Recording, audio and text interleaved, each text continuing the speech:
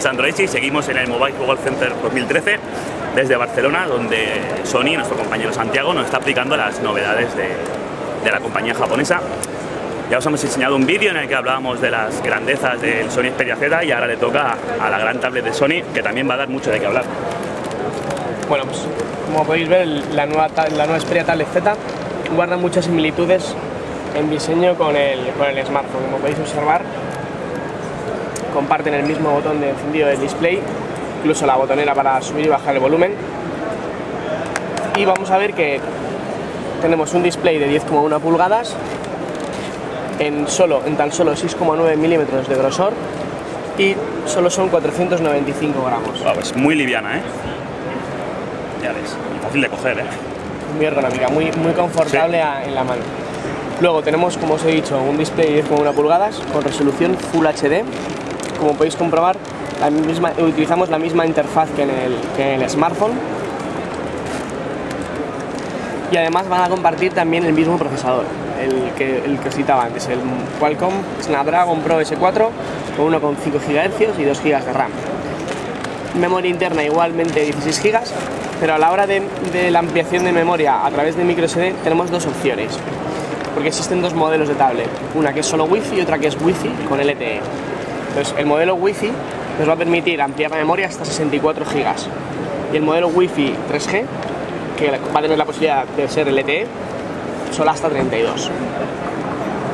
¿Vale? Si os habéis fijado también tiene una opción de carga magnética a través de un, a través de un dock con el cual no vamos a tener por qué nece- necesariamente estar abriendo y cerrando la, entrada de micro USB.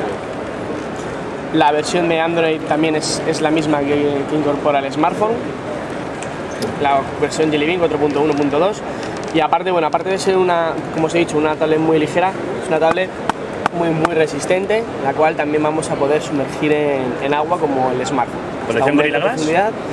Utilizamos Dragon Trail. Ah, Es, es un, es un fabricante similar a Gorilla Glass, lo que es todavía más resistente de cara a la fractura. ¿Y retrocompatibilidad entre la tablet y el Xperia Z? O sea, compatibilidad para pasar imágenes y demás. Siempre a través de, a través de NFC nos vamos a poder pasar, la vamos a hacer el emparejamiento a través de NFC y de manera muy muy sencilla. Igual que por ejemplo también vamos a poder compartir música con otro dispositivo, como por ejemplo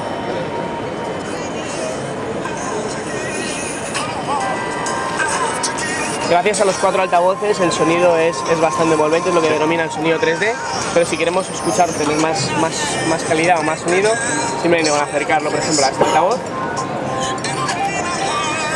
Ya estaríamos conectándolo. Como podéis oír.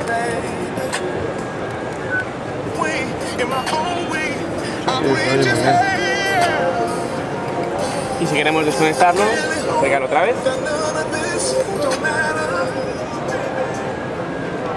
Ya está desconectado. Muy bien. Tiene dos cámaras. La cámara principal de 8 megapíxeles. Tiene las mismas especificaciones que la del smartphone, es decir, Full HD con sensor XMOR RS y HDR.